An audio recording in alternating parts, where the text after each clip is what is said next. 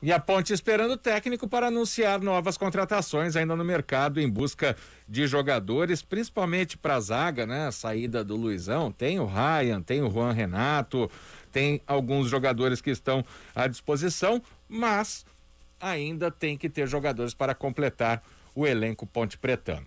Olha o pessoal participando em peso aqui, em um time tradicional do interior de São Paulo que não está na Série A1 Leonardo Galinari falou do Rio Claro, não é. Emerson Santana, Francana, não. Juliano Marques Andrade, Rio Branco de Americana, também não. Silvio de Paula e Tiago Prado, 15 de Piracicaba, não. Hélio Espanholo, Primavera de Indaiatuba, não. Leonardo deu outra dica aqui, União São João de Araras, não. Juju, Paulista de Jundiaí, não. Amaro Fernandes, Prudentina, não.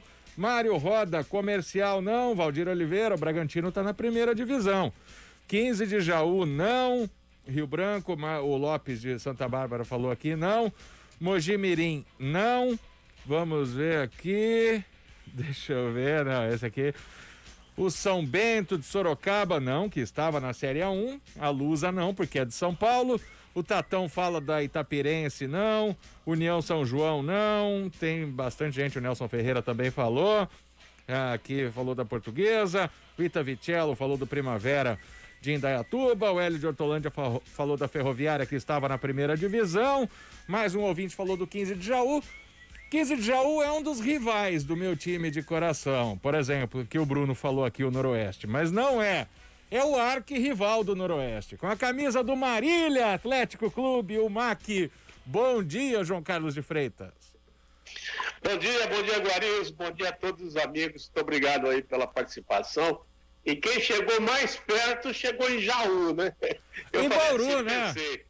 Em Bauru, né? Teve Não, três aqui. Ah, teve alguém de Bauru? Teve, é, José Vanderlei, o ah, Wilson ah, da Rocha. Tá. Só que você então, falar, você falar que tá perto do Marília é a mesma coisa que você falar que alguém que tá com a camisa da Ponte tá com a do Guarani. É perto, né? Mas Noroeste e Marília é, são rivais, é. né?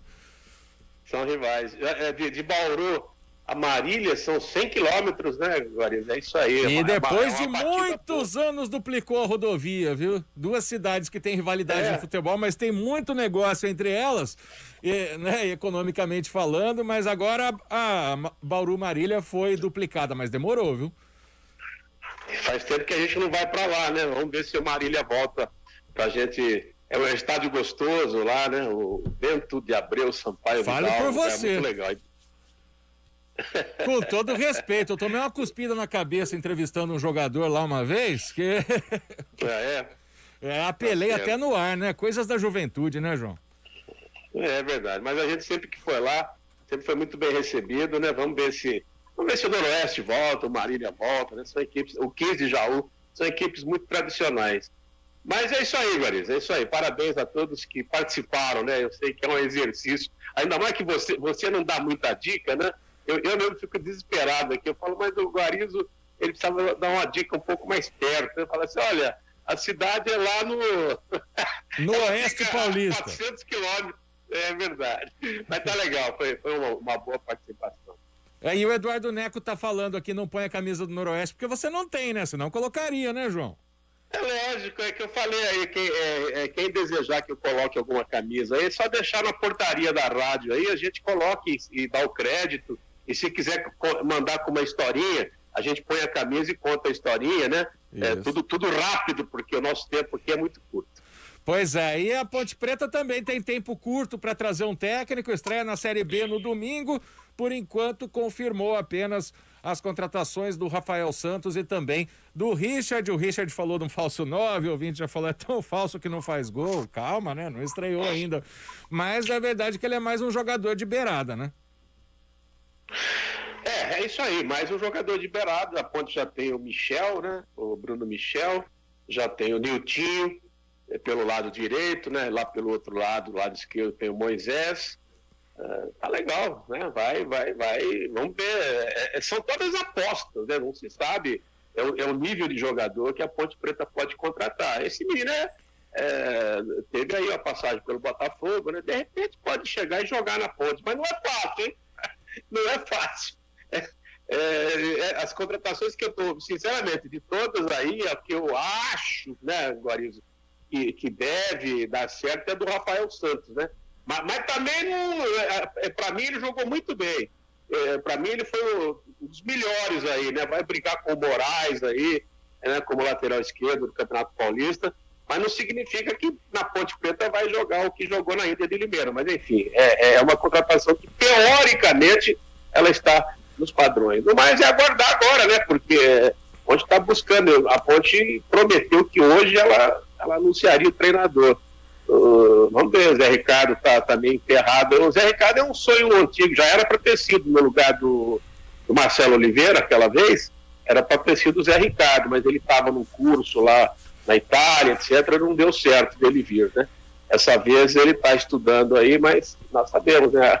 A grana da ponte também é limitada. Vamos, vamos, vamos aguardar o desenrolar aí. Tiago... Se não der o Zé Ricardo, sei quem vai vir, não. Tiago Carpini, alguma chance?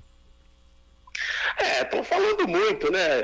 Eu conversei, para falar a verdade para você, sábado, sábado eu conversei com, com a direção da ponte e o nome do Carpini sábado era arriscado, mas é futebol, Guarizo, aquele que eu falei a você.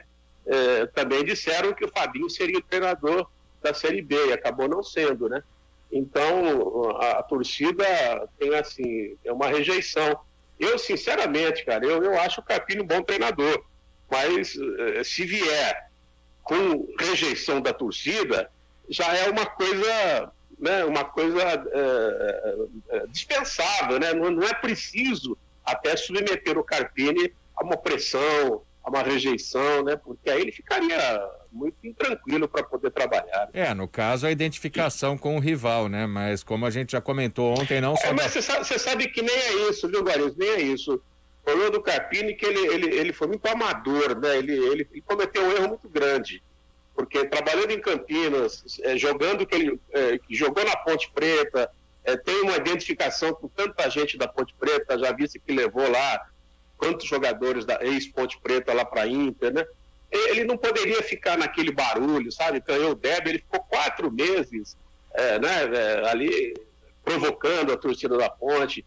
O, o, torcedor, ele é complicado, o torcedor não é, o torcedor é paixão, ele não esquece, né? Claro. Então, para ele, essa, essa atitude do Carpini, ela foi indesejável, e eu acho que o Carpini errou muito, né? Mesmo que ele venha para a ponte, ele vai ter que se retratar, entender que ele é um profissional e que a Ponte Preta é uma, uma casa, né? é, uma, é, um, é um clube para se trabalhar, um bom clube para se trabalhar, é, não se pode ficar fechando portas assim, claro. né? Ou por outra criando, criando, criando obstáculos, né? Eu acho até ruim jogador se portar como torcedor, você imagina treinador, né? É, Bom, verdade, verdade.